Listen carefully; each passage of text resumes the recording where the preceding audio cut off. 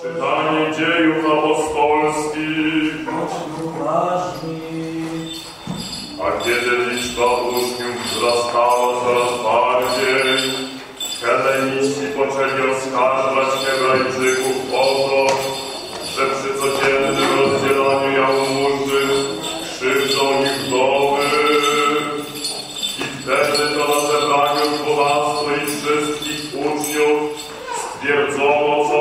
następuje. Nie wypada, żebyśmy zaniedbywali głoszenia Słowa Bożego, poświęcając swój czas na posługiwanie przy stołach.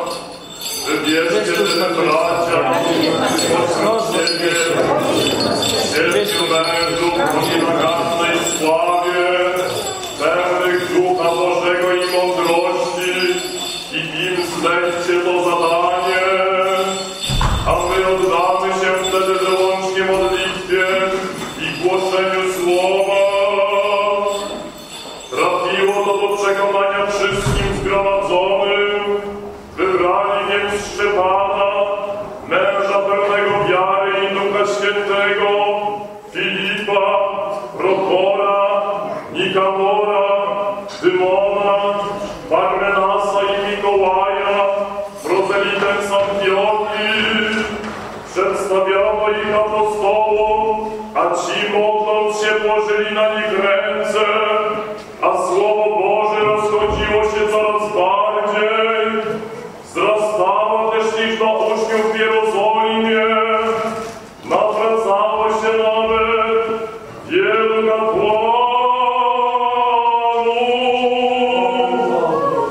W owym czasie przyszedł Józef z Arymatei, dostojny członek Rady, który również wyczekiwał Królestwa Bożego. Śmiało udał się do Piłata i poprosił o ciało Jezusa.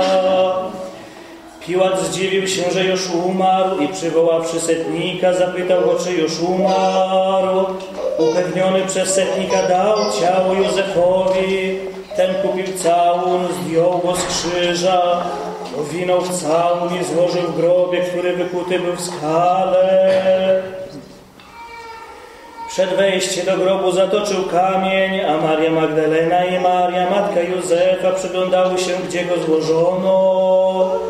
A gdy minął szabat, Maria Magdalena, Maria, matka Jakuba i Salome nakupiły wonności, aby przyszedłszy namaścić Jezusa.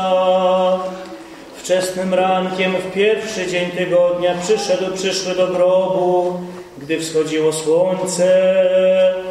A mówiły między sobą, kto odsunie nam kamień od wejścia do grobu. I spojrzawszy, zauważyły, że kamień był odsunięty, a był bardzo duży.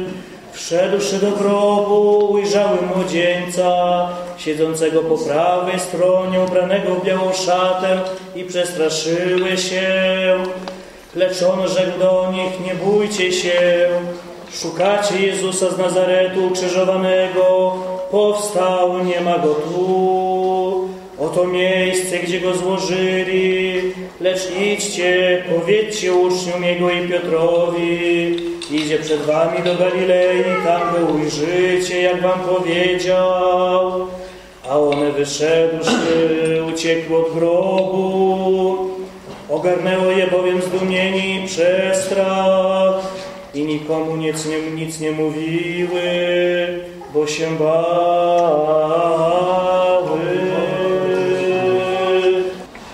W Ojca i Syna i Świętego Ducha. Cały cykl czytań w okresie paschalnym zwraca uwagę na zmartwychwstanie. Na zmartwychwstanie, które dokonuje się przede wszystkim w osobie Jezusa Chrystusa, który okazuje tym samym cel naszej egzystencji w tym wymiarze tutaj doczesnym, ale także zwraca uwagę na zmartwychwstanie duchowe. I to są te późniejsze Ewangelie, które mówią o, o paralityku, o człowieku niewidomym, o rozmowie z Samarytanką. Pan Jezus bowiem łamie wszelkie przepisy, zakazy Starego Testamentu, które uniemożliwiają kontakt z innym człowiekiem. Pan Jezus przekracza wszelkie granice, które to człowiek ustanowił i chce, ażeby wszyscy zostali zgromadzeni jako jedno, ponieważ my wszyscy jesteśmy Jego dziećmi i Jego uczniami. I dlatego nie, nie zwraca uwagi na to, czy ktoś należy do narodu zwanego Samarytanami, czy ktoś jest sparaliżowany, niewidomy.